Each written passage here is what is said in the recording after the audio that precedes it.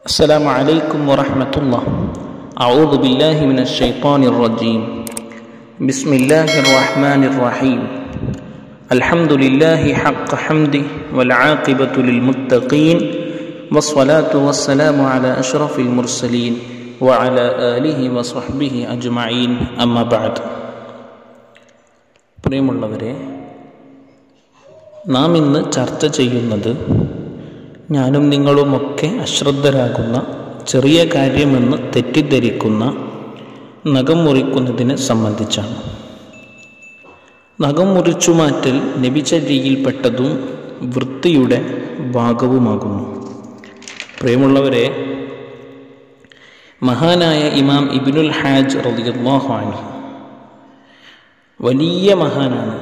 അവിടുന്ന് ഒരു ദിവസം ഹദീസുകൾ ബഹ്സ് ചെയ്യുന്നതിനിടയിൽ മുത്താല ചെയ്യുന്നതിനിടയിൽ ബുധൻ ദിവസം നഖം മുറിച്ചാൽ വെള്ളപ്പാണ്ട് രോഗം പിടിപെടുമെന്ന നബി സല്ലാഹു അലഹി വസല്ലമ തങ്ങളുടെ ഹദീസ് കാണാനിടയായി.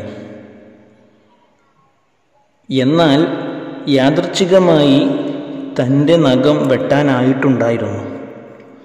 മഹാനവർകൾ ഈ ഒരു ഹദീസിന്റെ സനദ് അതായത് പരമ്പര പരിശോധിക്കുകയും ഹദീസ് നിദാന ശാസ്ത്രപ്രകാരം ചില ന്യൂനതകൾ മഹാനവർകൾക്ക് ബോധ്യപ്പെട്ടതിനാൽ അവിടുന്ന് നഖം മുറിക്കുകയും ചെയ്തു. ബുധനാഴ്ച അവിടുന്ന് നഖം മുറിക്കുകയും ചെയ്തു. അത്ഭുതമെന്ന് പറയട്ടെ മഹാനവർകൾക്ക് വെള്ളപ്പാണ്ട് രോഗം പിടിപെട്ടു. അങ്ങനെ അവിടുന്ന് ഒരു ദിവസം ഉറങ്ങുകയായിരുന്നപ്പോൾ അതാ സ്വപ്നത്തിൽ നബി സല്ലാഹു അലിഹി വസല്ലമ തങ്ങൾ കടന്നു വന്നുകൊണ്ട് നിങ്ങൾ എന്റെ ഹദീസ് കണ്ടിട്ടും എന്തിനാണ് നഖം മുറിച്ചത്? എന്ന് ചോദിക്കുകയും ശേഷം അവിടുന്ന് ശരീരത്തിൽ തടവുകയും അസുഖം ഭേദപ്പെടുകയും ചെയ്ത സംഭവം വിശ്രുതമാണല്ലോ പ്രസ്തുത സംഭവം ജാമ്യ സഹീഹിന്റെ ഷെറഹിൽ നമുക്ക് കാണാവുന്നതാണ്. അപ്പോൾ ബുധനാഴ്ച നഖം മുറിക്കുന്നതിനെ സംബന്ധിച്ച് ലൈഫായ ഹദീസ് മഹാനായ ഇബിനുൽ ഹാജ് റഹിമഹുല്ല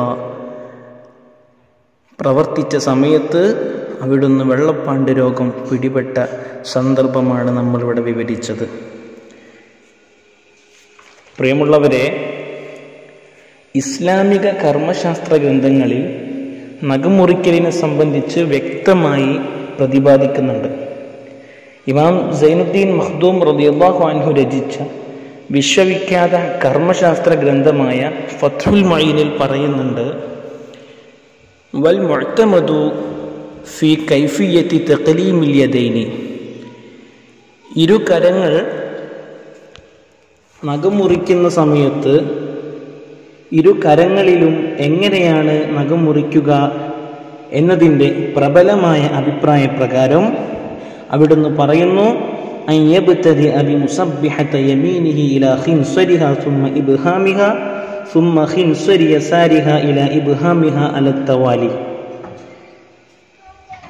ആദ്യം വലതു കൈയിലെ ചൂണ്ടുവിരൽ മുതൽ ചെറുവിരൽ വരെ പിന്നീട് വലതു കൈയിലെ തള്ളവിരൽ. ശേഷം ഇടതു കൈയിലെ ചെറുവിരൽ മുതൽ തള്ളവിരൽ വരെ. ഇതാണ് ഒന്നുകൂടെ പറയാം. ആദ്യം വലതു കൈയിലെ ചൂണ്ടുവിരൽ മുതൽ ചെറുവിരൽ വരെയും പിന്നീട് വലതു കൈയിലെ തന്നെ തള്ളവിരലും ശേഷം ഇടതു കൈയിലെ ചെറുവിരൽ മുതൽ തള്ളവിരൽ വരെ. ഇതാണ് ഇരു കരങ്ങൾ നഖമുറിക്കുന്ന സമയത്ത് നമ്മൾ അനുവർത്തിക്കേണ്ട പ്രബലമായ ശരിയായ രൂപം എന്നുള്ളത്.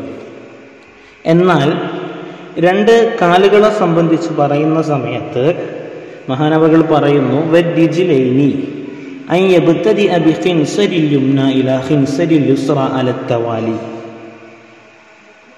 രണ്ട് കാലുകളെ നമ്മൾ നഖം മുറിക്കുന്ന സമയത്ത് രണ്ട് കാലുകളിൽ നമ്മൾ അനുവർത്തിക്കേണ്ട രൂപം എന്നുള്ളത് വലതുകാലിലെ ചെറുവിരൽ മുതൽ ഇടതുകാലിന്റെ ചെറുവിരൽ വരെ. ഒന്നുകൂടെ പറയാം.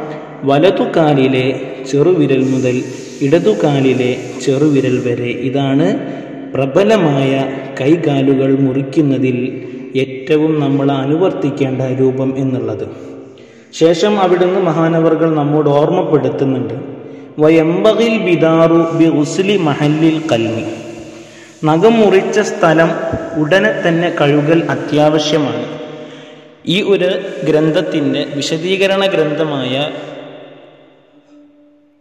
ഇയാനത്തു താലിബീൻ എന്ന ഗ്രന്ഥത്തിൽ ഹിമാം ബക്കിരി റഹിമഹുല്ല അവിടുന്ന് പറയുന്നുണ്ട് സയ്യിദുൽ ബക്കിരി റഹിമഹുല്ല അവിടുന്ന് വ്യക്തമായി അവിടെ എഴുതി ചേർക്കുന്നുണ്ട് എന്തിനു വേണ്ടിയാണ് നഖം മുറിക്കുന്ന സമയത്ത് അവിടെ ഉടനെ തന്നെ കഴുകൽ അത്യാവശ്യമാണ് എന്ന് പറഞ്ഞത്? അവിടുന്ന് പറയുന്നു വദാലിക്കലി അന്നൽ ഹക്ക ബിഹി ഗുസ്ലി. കബുൽ അൽ ഗസ്ലി യുഹ്ഷ മിൻഹുൽ ബറസ്. കാരണം എന്താണ്? നമ്മൾ കഴുകുന്നതിനു മുമ്പ് നമ്മുടെ വിരലുകളെ നമ്മൾ മുറിച്ചു നമ്മുടെ കൈകാൽ വിരലുകളിലെ നഖങ്ങളെ നമ്മൾ മുറിച്ചു മാറ്റി. ശേഷം ആ ഒരു ഷാർപ്പായ ഭാഗമുണ്ടല്ലോ. ആ ഒരു ഭാഗം വെച്ച് നമ്മൾ കഴുകുന്നതിനു മുമ്പ് നമ്മൾ ചൊറിഞ്ഞ് കഴിഞ്ഞാൽ നമ്മുടെ കൈകാലുകൾ നഖം മുറിച്ചതിന് ശേഷം അത് അവയെ കഴുകുന്നതിന് മുമ്പ് നമ്മൾ മുറിക്കന്തരം നമ്മൾ നമ്മുടെ ശരീരങ്ങളിൽ ചൊറിയുകയാണെങ്കിൽ അന്നൽ ഹക്കബിഹി ആ കൈകാൽ വിരുന്ന കയ്യിലെയും കാലിലെയും വിരലുകളെ കൊണ്ട് നമ്മൾ ചൊറിയുന്ന സന്ദർഭത്തിൽ അവിടെ വെള്ളപ്പാണ്ട് പോലെയുള്ള മാരക രോഗങ്ങളെ അവിടെ ഭയക്കേണ്ടതുണ്ട് ഭയപ്പെടേണ്ടതുണ്ട് എന്നതുകൊണ്ടാണ് അങ്ങനെ ചെയ്യരുത് എന്ന് പറയുന്നത് മറിച്ച് കൈകാൽ വിരലുകളിലെ നഖങ്ങൾ മുറിച്ച ഉടനെ തന്നെ അവയെ കഴുകി വൃത്തിയാക്കി ശുദ്ധിയാക്കൽ അത്യാവശ്യമാണെന്ന് മഹാന്മാർ നമ്മെ പഠിപ്പിക്കുന്നുണ്ട്. ഇനി എപ്പോഴാണ് നമ്മുടെ നഖം മുറിക്കേണ്ടത്? നമ്മളെല്ലാം ഇസ്ലാമിലെ ഏതൊരു പ്രവർത്തനങ്ങളും ഒരു മനുഷ്യനെ സംബന്ധിച്ച് അതിന് വ്യക്തമായ റൂൾസ് ആൻഡ് റെഗുലേഷൻസ് ഉണ്ട്. വ്യക്തമായ ഒരു മാർഗനിർദ്ദേശം മഹാന്മാർ ഇമ്മത്ത് നമ്മെ പഠിപ്പിച്ചിട്ടുണ്ട്. നമ്മുടെ ദീൻ നമ്മോട് കൽപ്പിക്കുന്നുണ്ട്. അപ്പം പറയുകയാണ് എന്നിട്ട് മഹാനവർകൾ എഴുതി ചേർക്കുന്നു വയുസന്നു യൗമൽ ഖമീസ് ഔ എപ്പോഴാണ് ഏറ്റവും ശ്രേഷ്ഠതയുള്ള ദിവസങ്ങൾ? അത് വ്യാഴാഴ്ചയും അതുപോലെ തന്നെ വെള്ളിയാഴ്ചയുടെ അതിരാവിലെയുമാണ്. ബുഷറൽ കരീം പോലെയുള്ള ഗ്രന്ഥങ്ങളിൽ കാണാം. യൗമുൽ ഇസ്നൈൻ എന്നുകൂടെ അവിടെ കൂട്ടിച്ചേർത്തിട്ടുണ്ട്. തിങ്കളാഴ്ചയും അവിടെ പറയുന്നുണ്ട്. ഏതായിരുന്നാലും ഇനി അതിനെക്കുറിച്ചുള്ള ഒന്ന് രണ്ട് ഹദീസുകളിലേക്ക് നമുക്കൊന്ന് പോകാം. അബൂ ഹുറേറ റളിയല്ലാഹു തൊട്ട് നിവേദനം ചെയ്യുന്ന ഹദീസിൽ പറയുന്നു അന്ന റസൂർ അള്ളാഹി സ്വല്ലല്ലാഹു അലൈഹി വസല്ലം കാന യുഖ്ലിമു അൽഫാറ യൗമൽ ജുമാ കബല അൻ യഖ്റുജ ഇല സ്വലാത്ത്. നബി സല്ലാഹു അലഹി വസല്ലമ തങ്ങൾ വെള്ളി വെള്ളിയാഴ്ച ദിവസം നിസ്കാരത്തിലേക്ക് പുറപ്പെടുന്നതിന് മുമ്പ് അവിടുത്തെ നഖങ്ങളെ അവിടുന്ന് വെട്ടി ശരിപ്പെടുത്തുമായിരുന്നു. മറ്റൊരു ഹദീസിൽ ആയിഷ റളിയല്ലാഹു അൻഹായെ തൊട്ട് ഉദ്ധരിക്കുന്നുണ്ട് അന്ന നബിയ സല്ലാഹു അലഹി വസല്ലമ കാൽ നബി സല്ലാഹു അലഹി വസല്ലമ തങ്ങൾ പറഞ്ഞിട്ടുണ്ട് മൻ കലമ അൽഫാറഹു യൗമൽ ജുമാ ഒരാൾ വെള്ളിയാഴ്ച ദിവസം അവന്റെ അവന്റെ നഖങ്ങളെ വെട്ടി ശരിപ്പെടുത്തുകയാണെങ്കിൽ അവൻ തിന്മകളിൽ നിന്നും തിന്മകളിലേക്ക് പോലോത്തതിൽ നിന്നും അവൻ അള്ളാഹു സുബാനുഹുമത്താല കാക്കപ്പെടുന്നതാണ്. അള്ളാഹു അവനെ കാത്തു സംരക്ഷിക്കുന്നതാണ്. അവനൊരു സംരക്ഷണം ഏർപ്പെടുത്തുന്നതാണ്. അപ്പോൾ വെള്ളിയാഴ്ച ദിവസം നഖം വെട്ടുന്നതിന്റെ പ്രത്യേകതകളാണ് നമ്മൾ പറയുന്നത്.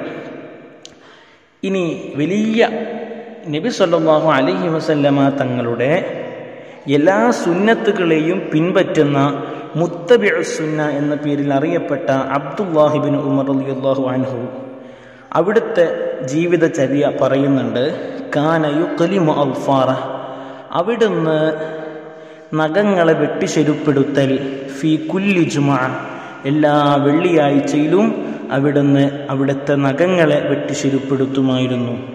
എന്നാൽ സുഫിയാനു സൗരി റഹിമഹുല്ല റളിയല്ലാഹു അൻ അവരത്തെ തൊട്ട് നിവേദനം ചെയ്യുന്ന മറ്റൊരു ഹദീസിൽ കാണാം. കാന യുഖ്ലിമു അൽഫാറഹു ഖമീസ്. അവിടുന്ന് നഖം വെട്ടിയിരുന്നത് വ്യാഴാഴ്ച ദിവസങ്ങളിലായിരുന്നു. അപ്പോൾ നാം മനസ്സിലാക്കേണ്ടത് വ്യാഴാഴ്ചയും വെള്ളിയാഴ്ചയും നഖം വെട്ടുന്നതിൽ ഏറ്റവും അഫുവലായ സമയങ്ങൾ ആണ് എന്നതാണ്.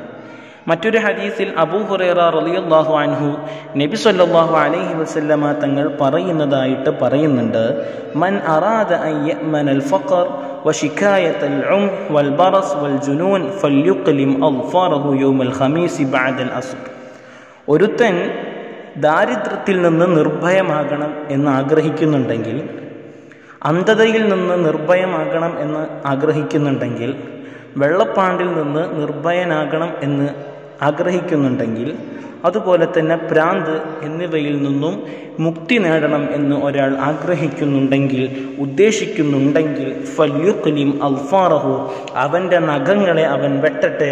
യൗമൽ ഹമീസി ബാദൽ അസുരി വ്യാഴാഴ്ച അസറിന് ശേഷം അവൻ വെട്ടട്ടെ എന്ന് വ്യക്തമായി അബു ഹുറൈറ റളിയല്ലാഹു അൻഹുവിനെ തൊട്ട് നിവേദനം ചെയ്യുന്ന ഹദീസിൽ നമുക്ക് കാണാവുന്നതാണ്. അപ്പോൾ പ്രിയമുള്ളവരെ നമ്മുടെ വൃത്തിയുടെ ഭാഗമാണ് നഖമുറിക്കൽ എന്നുള്ളത്. അതിന്റെ വിശാലമായ നിയമസംഹിതകളെയാണ് നമ്മളിന്ന് ചർച്ച ചെയ്തത്. ഇൻഷാ അള്ളാ വളരെ വ്യക്തമായി നിങ്ങൾക്ക് മനസ്സിലായിട്ടുണ്ടാകും എന്നു മനസ്സിലാക്കി ദുആ വസീയത്തോടെ അസ്സലാമു അലൈക്കും വറഹ്മത്തുള്ളാഹി വബറകാതുഹു.